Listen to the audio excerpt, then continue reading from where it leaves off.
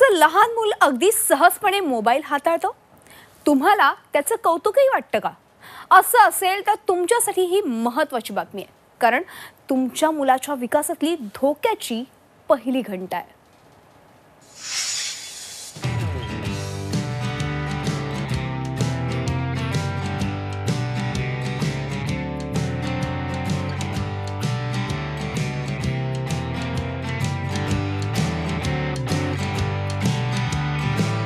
आमच्या सोनूला फोनमधलं सगळं कळतं. आमच्या मन्याला युट्यूब लावता येतं व्हॉट्सअप बघता येतं. अहो एवढंच काय? गेम सुद्धा आमचा चिकू स्वतःच डाउनलोड करतो. हे सगळं सांगताना पालकांना अतिशय कौतुक वाटतं. तुम्हाला या नव्या पिढीचा स्मार्टनेस वाटतोय. पण हाच स्मार्टनेस तुमच्या बाळाच्या विकासातला मोठा अडसर ठरू शकतो.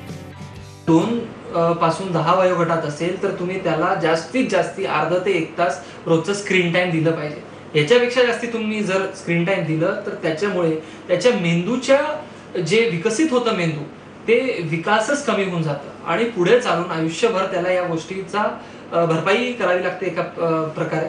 अमेरिकेत झालेल्या एका सर्वेक्षणात काही धक्कादायक गोष्टी समोर आहेत दहा हजार पालक आणि त्यांच्या मुलांना घेऊन हे सर्वेक्षण करण्यात आलं.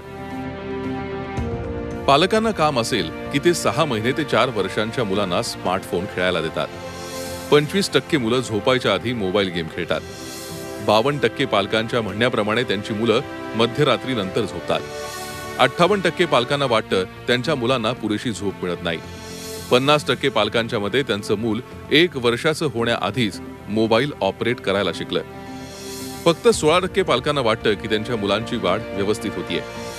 बहात्तर टक्के मुलं दिवसाला चार ते सहा तास मोबाईल आणि टीव्ही पाहण्यात घालवतात. आणि मित्रांबरोबर फक्त एक तास घालवतात. बावन्न टक्के मुलं एकाच वेळी टीव्ही आणि मोबाईल दोन्ही पाहत असतात. चौतीस टक्के पालक सांगतात त्यांची मुलं मोबाईल काढून घेतला की रडतात. मोबाईल दिला नाही तर पंचावन्न टक्के मुलं चिडतात आणि वस्तूंची नासधूस करतात. बासष्ट टक्के पालक सांगतात ते जेवताना मुलांबरोबर टीव्ही पाहतात. नव्वद टक्के पालक सांगतात त्यांच्या मुलांना शांत करण्यासाठी त्यांना मोबाईल द्यावा लागतो. लहान मुलांच्या मोबाईलच्या अतिवापरामुळे त्यांच्या शारीरिक मानसिक आणि बौद्धिक अशा सगळ्याच पातळ्यांवर परिणाम होतोय. त्यामुळे लहान मुलांमध्ये चिडचिड हट्टीपणा आणि निराशेसारखे आजार वाढलेत. मोबाईलवर असतात मुलं किंवा सोशल मीडियावर असतात त्याच्यावर आपला कुठल्याही प्रकारचा नियंत्रण नसतो.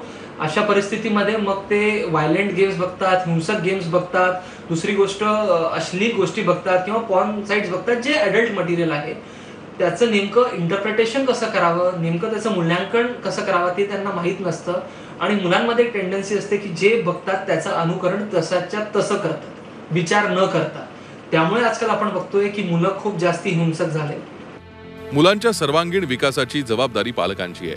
त्यामुळे मोबाईलच्या नादी लावून तुम्ही खरंच स्मार्ट पिढी घडवताय का याचा विचार वेळीच करायला हवा.